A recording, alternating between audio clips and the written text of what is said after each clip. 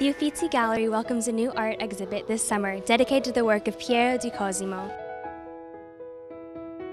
Though less well known than his Renaissance contemporaries, the eccentric artist still showcases an array of works showing the evolution of art from the Renaissance to the period of Mannerism.